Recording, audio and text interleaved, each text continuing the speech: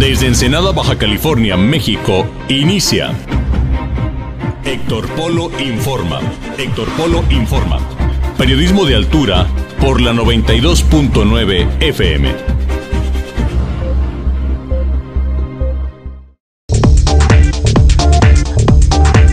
Hola, ¿qué tal? ¿Cómo está? Me da gusto saludarlos. Qué bueno, qué bueno que esté con nosotros en este espacio de noticias que como usted bien sabe, transmitimos día a día a través de la señal de la 92.9 MHz, como también a través de la 98.3 FM en Ensenada, Baja California, San Quintín y su valle, transmisión en vivo y en directo simultáneo en Amor Mío y La Chula.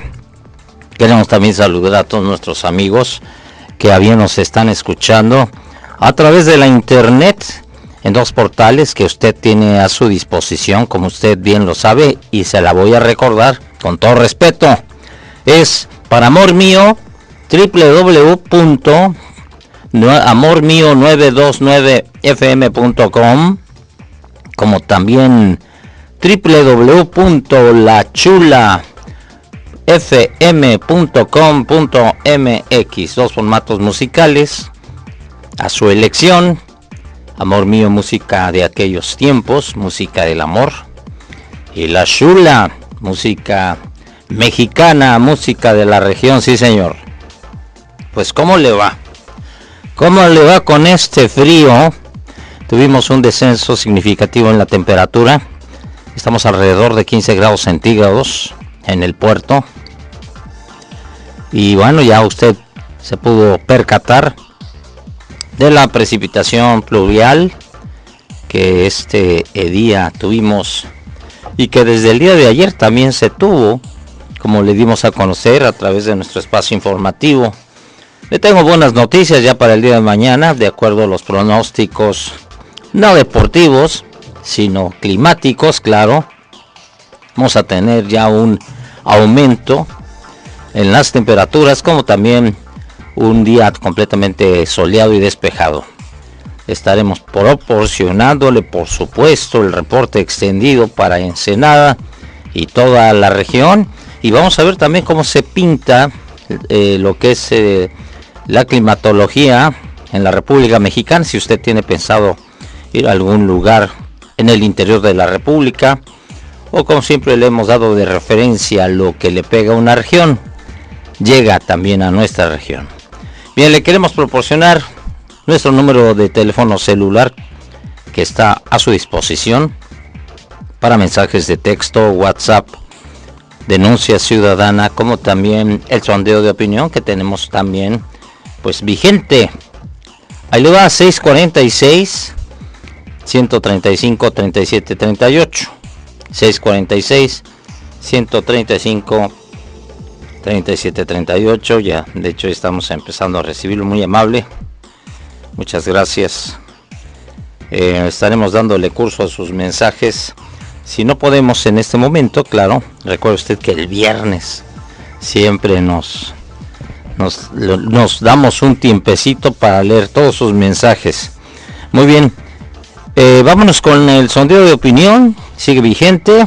Usted está a favor es la pregunta para que participe. ¿Usted está a favor del censo de vehículos chocolates? Recuerda usted que el gobierno del estado pues ya había mencionado que haría un censo. Ya de hecho, la vigésima tercera legislatura de los diputados levanta dedos, vergüenza, no nada más en Baja California, sino toda la República Mexicana de diputados que tenemos, pues aprobaron aprobaron esta iniciativa, de la cual, como le hemos dado a conocer, no implica que usted pues eh, se sienta libre de circular en lo que es el estado de Baja California, porque si lo atora el SAT, el Servicio de Administración Tributaria, se lleva, decomisa su vehículo. Eso no le está dando la garantía de ese famoso engomado. Así pues, hasta el momento, mire usted, tenemos un, fíjese, un 90% que está en contra y un 10% que está a favor. de dicho engomado. Y ha habido opiniones pues muy acaloradas. Aquí pues eh, definitivamente están en contra, al menos por lo que ha ido reflejando en este sondeo de opinión a través, por supuesto, de este número celular que le hemos proporcionado, como también a través de nuestras redes sociales. Les recuerdo que Amor Mío en Facebook, nuestra fanpage es Amor Mío FM, como también en Twitter, Amor Mío FM, también ahí puede usted participar. Y bueno, está abierto, recuerde, este, la pregunta, ¿está usted de acuerdo con el engomado para vehículos y el censo, concretamente? El censo que llevará a cabo el gobierno del estado de vehículos, que se le estará cobrando, se le va a cobrar una anualidad esto por cuestiones de seguridad. Usted puede decir que sí, son dos reactivos, o puede decir que Nanay no nos gusta. Bien, ¿qué le parece si nos vamos directamente con el avance informativo?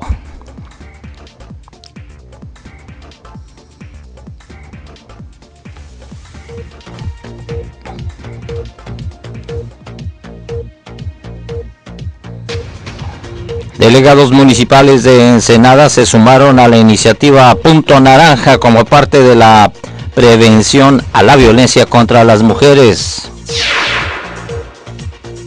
La Dirección de Seguridad Pública de Mexicali reforzará los operativos mochila en las escuelas. En información nacional, el presidente Andrés Manuel López Obrador adelantó que hay dos cosas que él haría. El día el que el pueblo no me quiera, voy a llorar y me voy a ir a Palenque. Y en información internacional, la Organización Mundial de la Salud eleva amenaza del coronavirus que se propaga por el mundo. Toda esta información y claro, mucho más a través de este espacio informativo.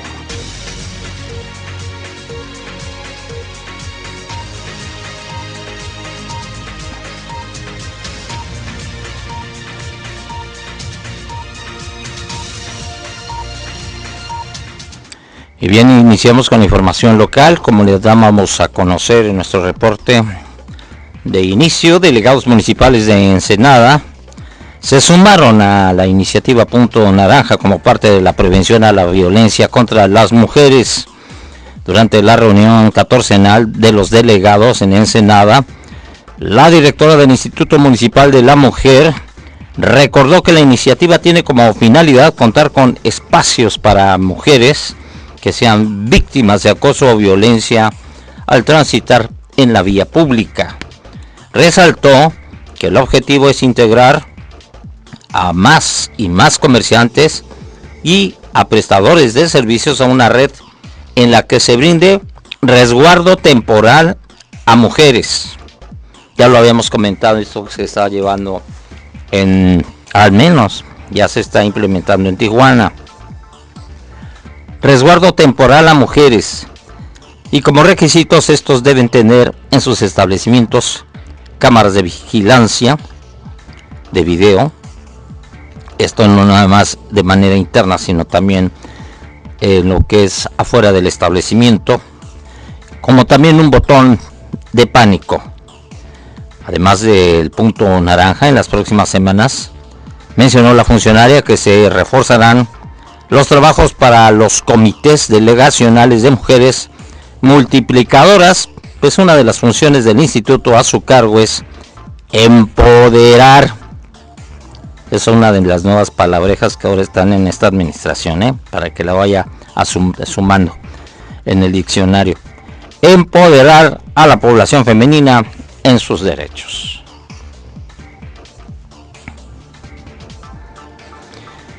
Bueno, por consecuencia eh, de esta, estos cambios climáticos que no nada más se dieron en la región, sino también en la República Mexicana, el día de ayer se cerró la navegación marítima por dichas condiciones. La misma Capitanía del Puerto ordenó el cierre a las embarcaciones menores de 500 toneladas de registro bruto. Esto a partir de las 10 de la mañana en los puertos, tanto de Ensenada como el del Sausal. La Capitanía recomienda a la comunidad marítima y portuaria permanecer atentos al desarrollo de las condiciones meteorológicas y a los avisos, pues nuevamente meteorológicos, claro está, que se transmiten en la Capitanía de Puerto en las frecuencias generalmente que son de banda de radio banda lateral, que son las frecuencias marinas, en el canal 14 de VHF en, lo que es la banda de 40 metros, 8284.4 MHz, así como cualquier consulta, claro está, a los teléfonos 646-977-1208, con sus extensiones 111 y 114. También se exhorta a no omitir dichas recomendaciones a fin de evitar sanciones establecidas en la legislación marítima nacional vigente y sobre todo al resguardo, no nada más de lo que es la integridad patrimonial, que en este caso son las embarcaciones, sino física, que es lo más importante. La vida humana es importante. Usted no puede salir a navegar en condiciones adversas. No juegue con el mar. Si usted que nos está escuchando tiene su embarcación, ya sea para uso recreativo o para pesca, tenga mucho cuidado y siga las, las mismas recomendaciones que este, manda, emite la Capitanía de Puerto en Ensenada. Y bueno, en más información, rápidamente quiero decirle que abren convocatoria para operar cataratas. Esto se abrió concretamente para operar a adultos mayores con el fin de apoyar a población, sobre todo la más vulnerable, en lo que son los programas sociales, para que mejoren, por supuesto, la calidad de vida. La misma Secretaría de Integración y Bienestar Social ha dado a conocer que las cataratas es la primera causa de ceguera en el mundo, así como la principal causa de pérdida de la visión en personas mayores de 40 años y puede ser reversible con una operación y la colocación de un lente intraocular. No es necesario, eh, dice la dependencia, que el adulto mayor haga el trámite personalmente, por lo que puede realizarlo algún familiar. Eh, la recomendación a la población que tengan dudas respecto a cómo acceder a los apoyos, pues puede comunicarse, claro está, a través de mensajes de WhatsApp al número, tome nota, 664 624 2055, repito, 664 624 2055. Bien, nosotros nos vamos a ir a nuestro primer corte comercial, pero ¿sabe qué? Más adelante. La Dirección de Seguridad Pública de Mexicali reforzará los cuestionados operativos mochila en las escuelas. Regresamos. Regresamos con Héctor Polo Informa.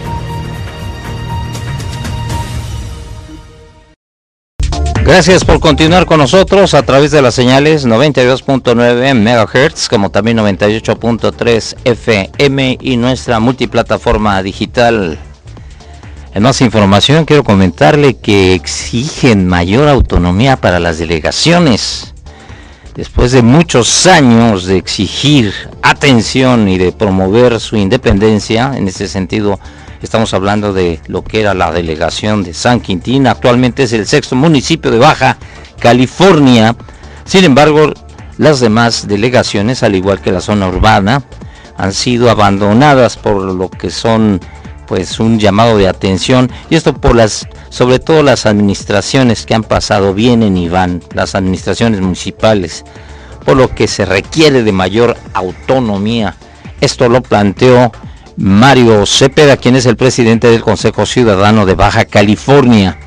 Cepeda Jacobo destacó que las delegaciones tienen muchas riquezas se desarrolla por supuesto, al menos en Ensenada, la agricultura, la pesca, la minería, afluentes de agua. Sin embargo, de nada le sirve contar con todos esos recursos si para dar servicio a, lo que son sus residentes depende de la buena voluntad de la autoridad central, en este caso, pues el municipio, por supuesto, consecuentemente, como se ha dado, eh, pues administración tras administración, mal y de malas, pésima administración.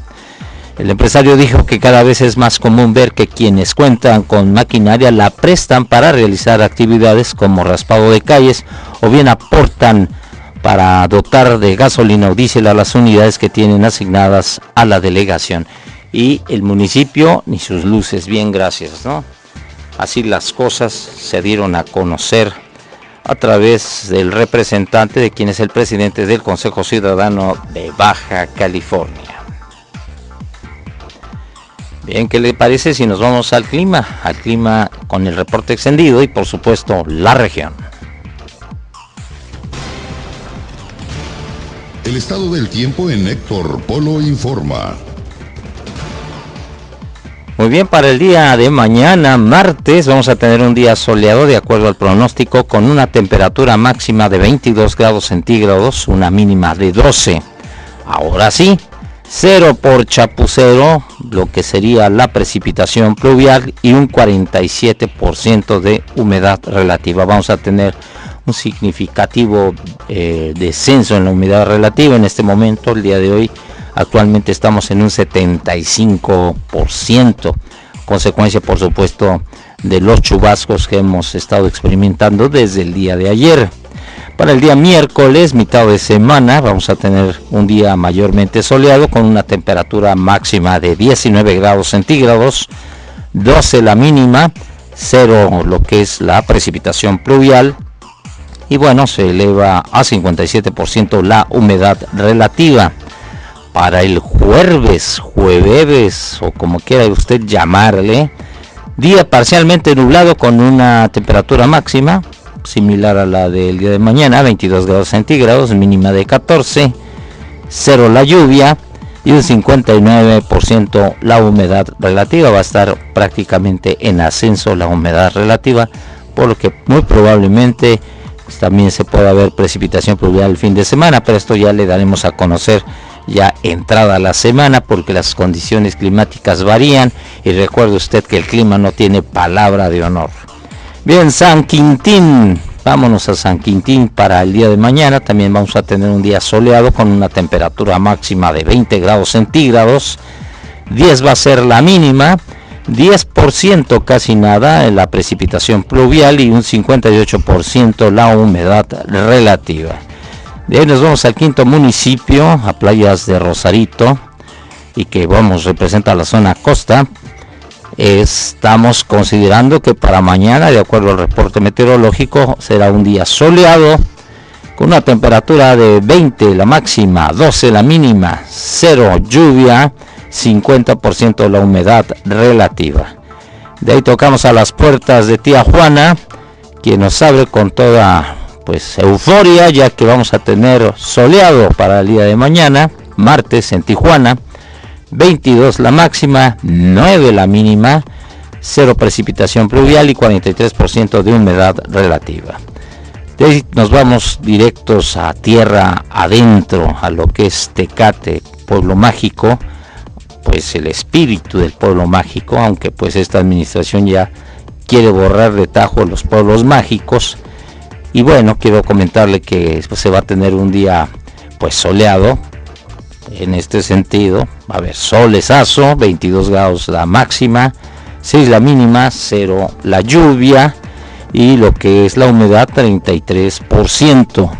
Por último nos vamos a la capital del estado de Baja California, Chicali. Nuestros amigos cachanillas tendrán el día de mañana un día soleado, temperatura pues rica para lo que ellos están acostumbrados, 27 grados la temperatura máxima, 9 la mínima, también cero por chapucero lo que sería la precipitación pluvial y van a tener un día muy seco 17% lo que sería la humedad relativa. Así las cosas en lo que es el reporte del clima en la región.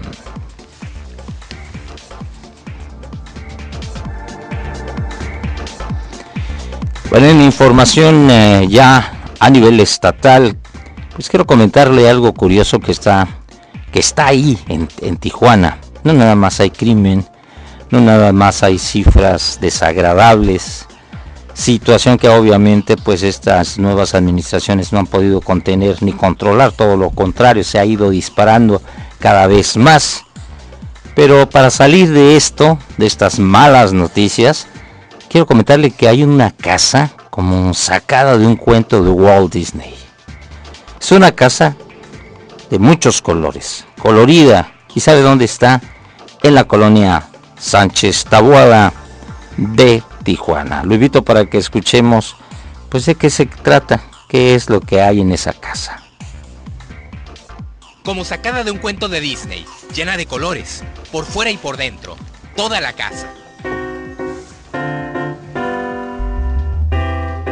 Un poco escondida, en la calle Lázaro Cárdenas de la colonia Sánchez Tabuada de Tijuana, se ubica esta peculiar vivienda que también es tienda de abarrotes.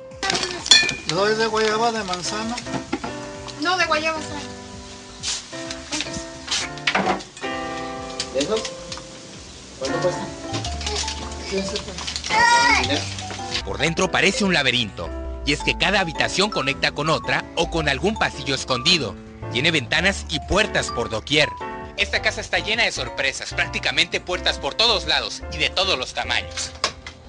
Es definitivamente una vivienda y una negociación llena de colorido. Viviendo aquí, viviendo desde el 76. Su propietario es Germán Ramírez, un hombre de 82 años que gusta de escuchar música en discos y cassettes. Del disco grabo al, al cassette y del cassette lo puedo grabar al disco. La idea de una casa llena de colores se fue dando poco a poco, sin una razón especial, con la ayuda de un amigo con quien todavía realiza personalmente las adecuaciones. Pues hemos oído a la gente que, les gusta, le pasa y hasta les toma fotos y le toma fotos porque les gusta. Don Germán tuvo cinco hijos quienes también habitaron este humilde pero colorido hogar de concreto y madera, que por cierto no cuenta con regaderas porque le gusta bañarse a la antigua, a jicarazos. No, no tengo, pero aquí me baño y a gusto. Ahí se va el agua. ahí. Y así, en todas las habitaciones no hay regaderas. No. Es siempre con jicarazos. Sí, pues a lo, a lo antiguo, ¿no? Más a gusto. Dicen que todo se parece a su dueño y esta casa refleja positivismo y cariño. Un cariño que se ha ganado don Germán entre su comunidad. El azul y el rosita. ¿A ti te gusta la casa así? Sí, ¿Por qué? porque me gustan mucho los colores. Es muy bueno con nosotras. Se me regala chocolates. Yo lo hago porque mi venta es muy baja. Entonces yo tengo en la mañana, como les decía, tengo tiempo de hacer todo esto. Y, y en la tarde ya, ya es otra cosa. Cuando las paredes y el techo de un hogar trascienden de ser una habitación para alguien a convertirse en la alegría de quien la ve, podemos decir entonces que es más que una casa. Pues ahí tiene usted algo que pues podemos salir de la de la costumbre informativa. Generalmente estamos dando noticias que pues son un poquito desagradables, así son las cosas. Bien, en más información como lo damos a conocer en nuestro avance informativo, la Dirección de Seguridad Pública de Mexicali ha reforzado los operativos Mochila. La Dirección de Seguridad Pública pues ha dado a conocer y pues a través precisamente de las escuelas y el apoyo de los docentes y directivos de, de dichas escuelas son cuando, como usted sabe, ha sido muy cuestionada este tipo de operativos. La Dirección de Seguridad Pública Municipal trabaja de manera permanente con acciones preventivas a favor de los estudiantes de diversos niveles, entre ellos el operativo Mochila. hemos reforzado el operativo Mochila en relación a dos operativos que se llevaban semanalmente, de dos a tres operativos, estamos llevando hasta tres al día, de tres a cinco al día, eh, estamos eh, pues eh, quintuplicando toda la atención a las escuelas con este operativo, que ha sido eh, pues eh, muy importante, ha sido pieza fundamental para la prevención en caso de las escuelas. La funcionaria municipal reconoció que a pesar de que el operativo tiene como objetivo disuadir a los jóvenes en posesión de droga o portación de arma prohibida, todavía se encuentran con resistencia por parte de algunos padres de familia. Quiero comentar que de pronto sí se han presentado algunas resistencias por algunos padres de familia en este operativo eh, o algunas instituciones eh, que son muy pocas, pero sí que no lo han aceptado. Y quiero comentar que este operativo la verdad es muy noble. Pedimos pues que tengan confianza las autoridades. Ingresamos con la unidad canina, con este trabajo de nuestros eh, perritos policías adiestrados. Reiteró que el objetivo no es exhibir a nadie como resultado de estos operativos, sino como una labor preventiva. En su momento no se trata de exhibir a nadie, ni, ni, inclusive ni por el lado coercitivo hacia algún alumno, sino más bien por el lado de la prevención. Quizá eh, nos encontremos hasta ante la presencia de un niño, un joven, un menor de edad, que estén a punto de ingresar pues a este fatal mundo de, las drogas, tanto el consumo como en su caso de, ser enganchados por narcomenudistas y es el momento en que podemos actuar trabajando juntos, padres de familia, eh, instituciones educativas y autoridades, en nuestro caso, de seguridad pública municipal. Bien, nosotros nos vamos a nuestro siguiente corte, pero más adelante.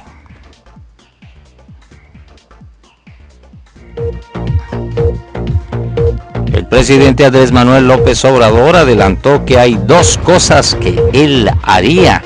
El día el que pueblo le diga que no lo quiere, va a llorar y se va a ir a Palenque. Volvemos. Regresamos con Héctor Polo Informa.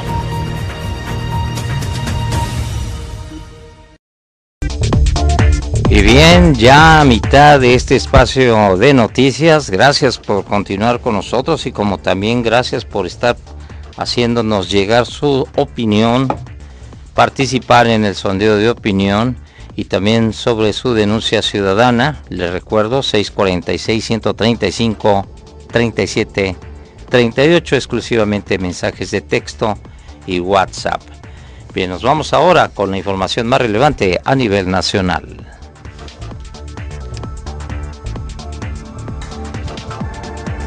Y bueno, el presidente de la República, Andrés Manuel López Obrador, pues dijo, así de sencillo, el día de hoy, en la acostumbrada conferencia mañanera, que hay dos cosas que él haría.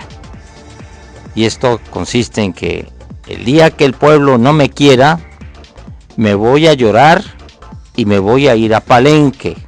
Así lo dijo él.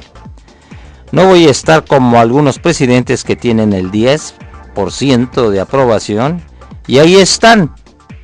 Pues eso fue lo que mencionó el mismo presidente en relación a su popularidad que por supuesto le preocupa. Este, ya lo dije, además, hay dos cosas. Una, que es voluntaria. El día que el pueblo no me quiera, ese día voy a llorar y me voy a ir a Palenque. Chiapas. ¿eh? Así, así, de claro. No voy a estar como hay algunos presidentes que tienen el 10, el 15% de aprobación, el 20% en sus países y ahí están. ¿Cómo va uno a gobernar así? si no tiene uno respaldo de los ciudadanos. Nada más es por el cargo y yo no estoy aquí por eso. Yo no luché por el cargo, yo lucho para transformar al país. Por eso no vamos a dejar de llevar a cabo los cambios. O sea, y eh, está cantado. Va a haber reacción. Más respetamos a los conservadores, opositores, porque nosotros queremos acabar con la corrupción y queremos que lo que ellos se embolsaban, que era mucho, se le entregue al pueblo y sobre todo a la gente humilde, a la gente pobre. Y bien, no nada más el mensaje fue dirigido a los opositores, a los conservadores, sino también dijo un me estás oyendo inútil o inútiles, como dijera Paquita la del barrio, pues también a sus correligionarios del partido, que de alguna otra manera, pues no cabe duda, nada más que se vengan a dar una vuelta aquí en Baja California, y cuánto no hay de inútil en los cargos públicos del gobierno llámese estatal, llámese delegación federal o llámese también municipal. Y bueno, relacionado también con la información que se dio a conocer en esta acostumbrada conferencia mañanera de prensa, eh, pues se presentó, sabe, los avances, un avance general en la construcción del aeropuerto Felipe Ángeles de Santa Lucía. Se detalló que la obra ha generado 11.348 empleos civiles y hay 924 militares laborando. Este video muestra cómo va la obra, como le digo, en la misma base y que también se explica que el avance es de unos aproximados 5.86% con una inversión de 2.141 millones de pesos en lo que va, que son 138 días. La Secretaría de la Defensa Nacional informa los avances en la construcción del Aeropuerto Internacional Felipe Ángeles al 2 de marzo de 2020. Con relación a los datos generales de la obra, se tiene un avance general del 5.86% en 138 días, con 2.141 millones de pesos ejercidos. Se han generado 11.384 empleos civiles y laboran 924 elementos militares. A la fecha, se han trazado 4.767.000 metros cuadrados de instalaciones. Se han excavado 6.288.000 metros cúbicos de tierra se han conformado 1.895.000 metros cúbicos de plataformas. La terminal de combustible con capacidad de autonomía de hasta 7 días tiene un avance del 7.63%. La base aérea militar con modernas y funcionales instalaciones para la Fuerza Aérea Mexicana, 13.17%. La torre para el control del despegue y aterrizaje de aviones, 6.44%. El eje troncal para el arribo de pasajeros al edificio terminal, 6.09%. El edificio terminal de pasajeros con capacidad de 19.5 millones de personas, 2.18%. El estacionamiento con terminales intermodales de transporte terrestre, 13.69%. Faltan 749 días de construcción. Pues ahí está el audio del video que presentó precisamente Andrés Manuel López Obrador el día de hoy en su mañanera. ¿Cómo la ve usted? Bien, en más noticias, pues quiero comentarle, son noticias eh, prácticamente ya de carácter internacional. La Organización Mundial de la Salud pues elevó a nivel muy, fíjese, elevado así, así está escrito. no sé si vale la redundancia, pero elevó lo que sería la amenaza del nuevo coronavirus que ha llegado a México y a África subsahariana, dice así, pues el mismo representante de la OMS, se acelera en Corea del Sur y desestabiliza la economía mundial. Estos son los detalles. La Organización Mundial de la Salud elevó la amenaza del nuevo coronavirus que ya llegó a América Latina y a África subsahariana el viernes. Nuestros epidemiólogos han ido monitoreando los desarrollos continuamente y ahora incrementamos nuestra evaluación del riesgo de propagación y el riesgo de impacto de COVID-19 a un muy alto nivel global. Ante la rapidez de propagación, más de 83 mil casos en más de 50 países, la organización instó a las naciones en donde no se ha detectado a que se preparen y advirtió que confiarse en estar protegido podría ser fatal. En América Latina, Brasil y México han confirmado casos. En territorio mexicano los contagiados son personas que han estado en Italia mientras que en África hay tres casos, aunque las autoridades barajan la posibilidad de que los precarios sistemas de salud no hayan detectado la epidemia. En China, donde apareció el virus en diciembre, más de 2.830 personas han fallecido y hay más de 79.250 infectados, según informaron el sábado las autoridades. Los 327 casos más aparecidos en territorio chino son menos de los que el país sufría a mediados de febrero. Pero otros países se están convirtiendo en fuentes de propagación de la epidemia de COVID-19, empezando por Corea del Sur, que tiene más de 2.930 casos, Irán con casi 400 infectados e Italia con 650 personas contagiadas. Estados Unidos pospuso la cumbre regional de la Asociación de Naciones del Sudeste Asiático, prevista para marzo en Las Vegas debido al temor por la epidemia, y alertó a sus ciudadanos a evitar viajes innecesarios a Italia. Fuera de China, el coronavirus ya ha afectado a más de 5.000 personas y ha causado más de 80 muertos. ¿Qué les parece si ahora nos vamos a lo que es el reporte de las divisas? El reporte de las divisas en Héctor Polo Informa. Y bueno, quiero comentarle que el dólar americano se sitúa a la compra en 19 pesos con 6 centavos y a la venta en 19 pesos con 89 centavos. Estamos hablando del dólar americano de ventanilla. Hubo un comportamiento mixto en las divisas. Se fortalece de alguna manera en forma marginal el peso mexicano. Para el caso de la divisa de la Unión Europea, el euro se ubicó a la compra en 21 pesos con 55 centavos, se elevó, se elevó esta moneda, y 22 pesos con 12 centavos a la venta.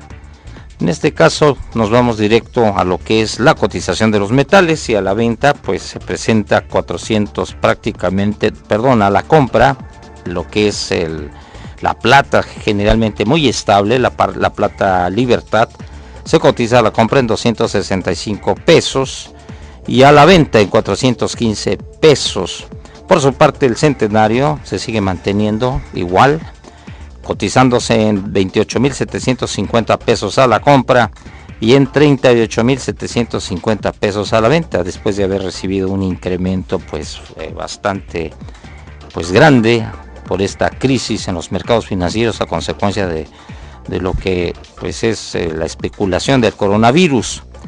Por último, nos vamos a los mercados bursátiles, donde la Bolsa Mexicana de Valores cerró a la alza, finalmente.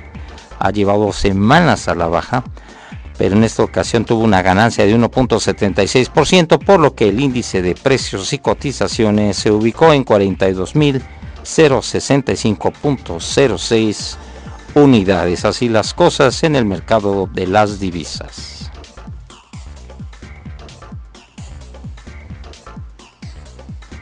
Y bien, este queremos agradecer mucho la participación. Vuelven a insistir con lo de las luces, eh, bueno, no las luces, sino las luminarias. Puso aquí luces. Debe ser ya ve que es predictivo, predictivo este asunto del teléfono en pórticos del mar hay eh, luminarias que siguen manteniéndose prendidas aun cuando es de día. Volvemos a pasar el reporte. Bien, nosotros nos vamos a nuestra siguiente pausa. Regresamos, no le cambie. Regresamos con Héctor Polo Informa.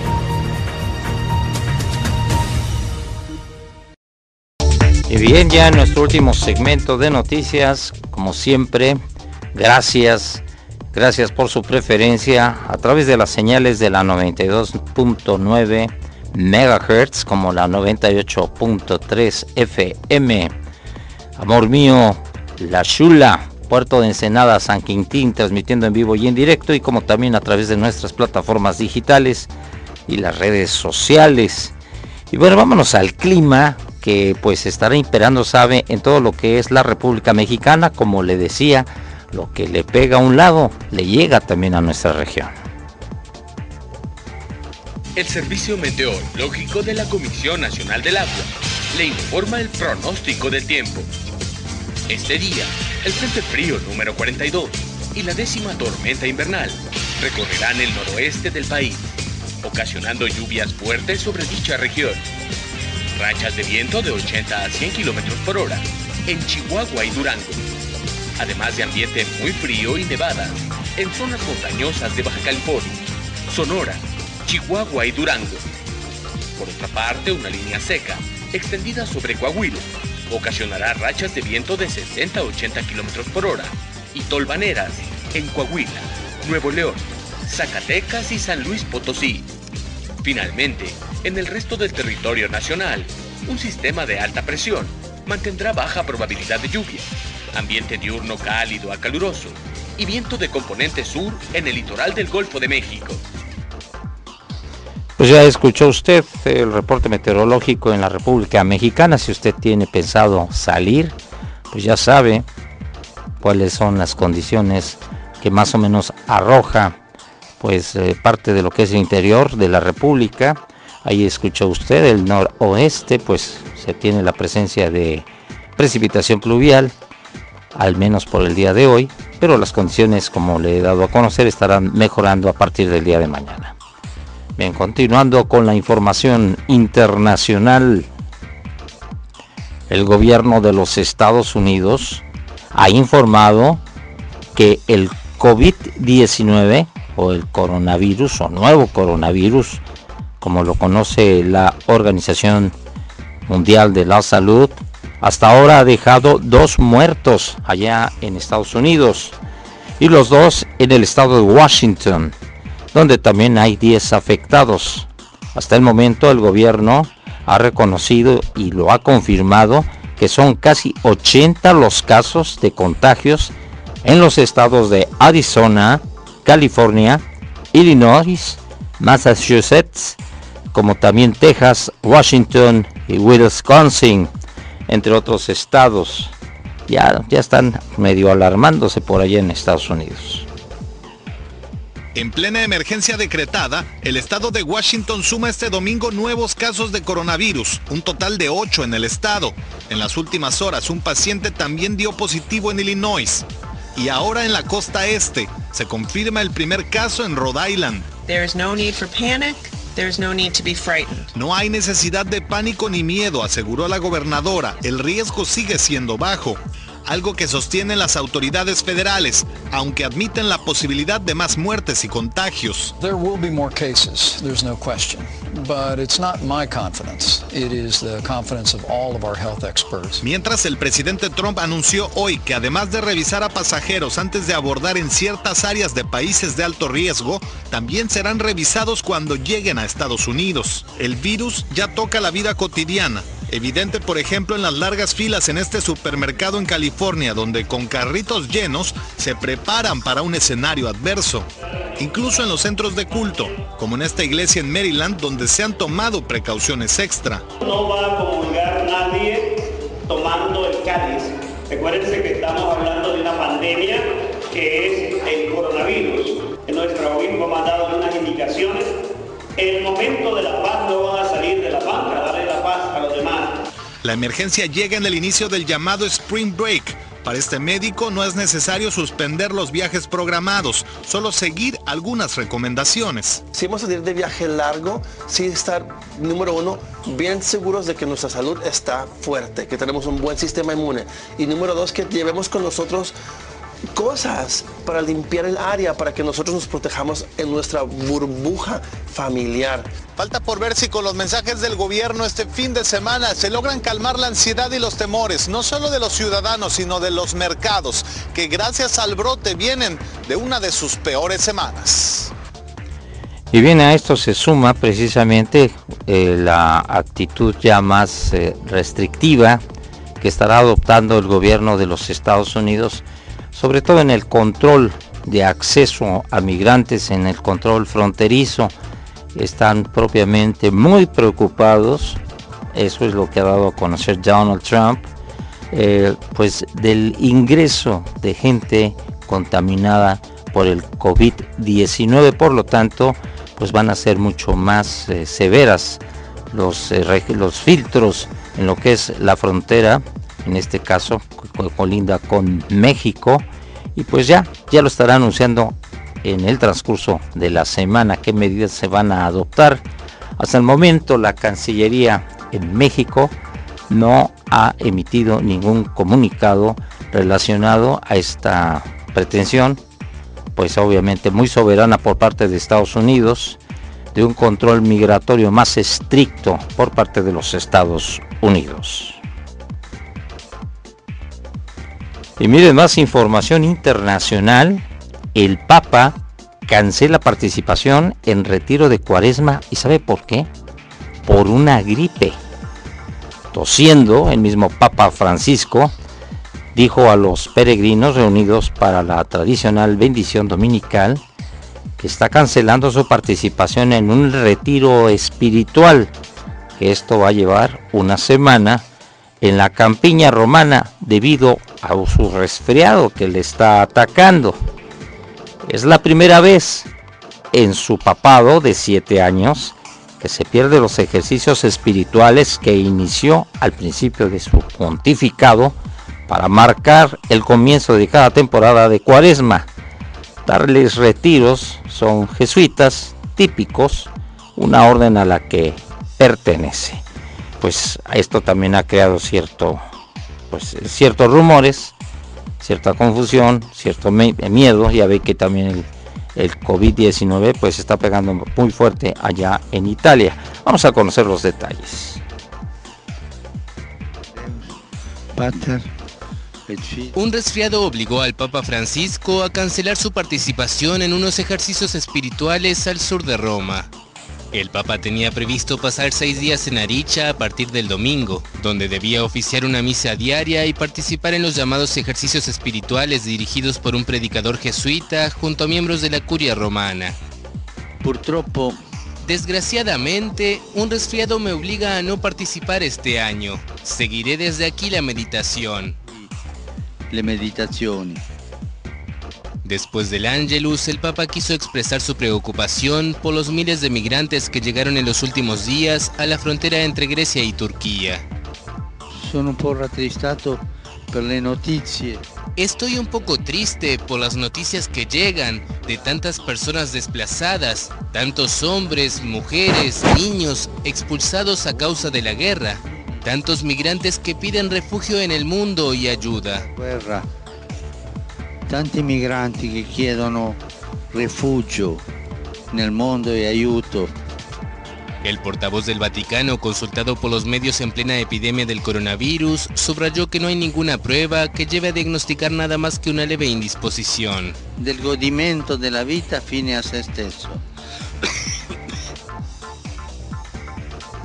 Pero ya sabe, ¿no? Cómo son los las redes sociales que pues están especulando y dando vuelo a lo que se ha denominado fake news, así que hay que estar pues eh, muy cuidadosos de no caer en la trampa de las famosas noticias falsas.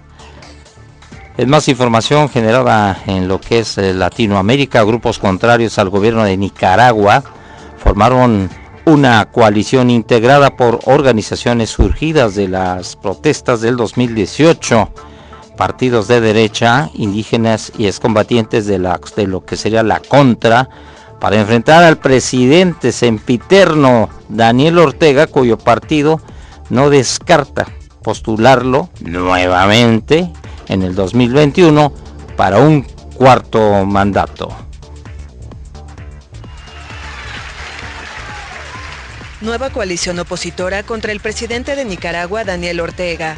Organizaciones surgidas de la protesta de 2018, partidos de derecha, indígenas y excombatientes de la contra que lucharon en los años 80 contra la revolución sandinista, firmaron un acuerdo el martes para hacer frente a una previsible postulación del mandatario para reelegirse por cuarta vez en 2021. La coalición nacional es el camino, el camino correcto que hemos entre todos adoptado para que nos lleve por la vía cívica y por la vía del voto de todos los nicaragüenses a la solución del problema en que nos encontramos. Para la oposición, la alianza es el primer paso de un largo camino para constituirse como partido político para los comicios del próximo año. Tras la firma del acuerdo en el Centro Cultural Pablo Antonio Cuadra en Managua, se realizaron algunos piquetes express o protestas rápidas que fueron reprimidas por agentes antidisturbios situados en varios puntos de la ciudad. En este momento eh, hay un despliegue policial por todo Managua y eso impide la movilización. En la jornada fueron agredidos al menos ocho periodistas independientes que cubrían las manifestaciones en la plaza comercial de Metrocentro y en la Iglesia Divina Misericordia, según constató un fotógrafo de AFP a quien le dañaron su equipo. La Unidad Nacional, la Alianza Cívica y todos los actores que están aquí sentados con nosotros apoyan cualquier esfuerzo movilizativo y lo vamos a seguir intentando. Es una de las prioridades de la coalición nacional, retomar las calles porque las calles son del pueblo. La presidenta y primera dama Rosario Murillo dijo el lunes que los opositores tienen apetitos inmorales, voracidad descompuesta, insolencia y maquinaciones criminales. La represión de las manifestaciones del 2018 dejó más de 300 muertos y 88 mil exiliados, según la Comisión Interamericana de Derechos Humanos. Pues así, así las cosas allá en Nicaragua.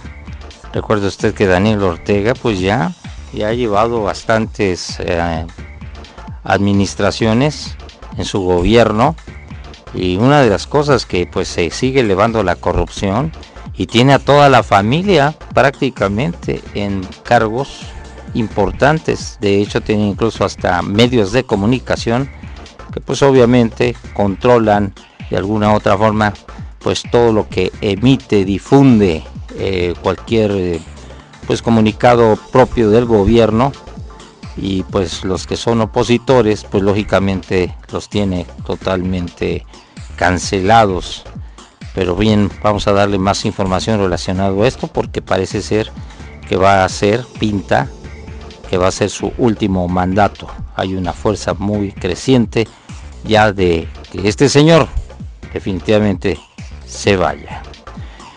Muy bien, pues hasta aquí la información. Yo le agradezco mucho la atención dispensada a este espacio de noticias y como siempre yo lo espero el día de mañana con más detalles. Soy Héctor Polo, pásela, pásela muy bien. Le esperamos en la próxima emisión con Héctor Polo Informa. Periodismo de altura por la 92.9 FM.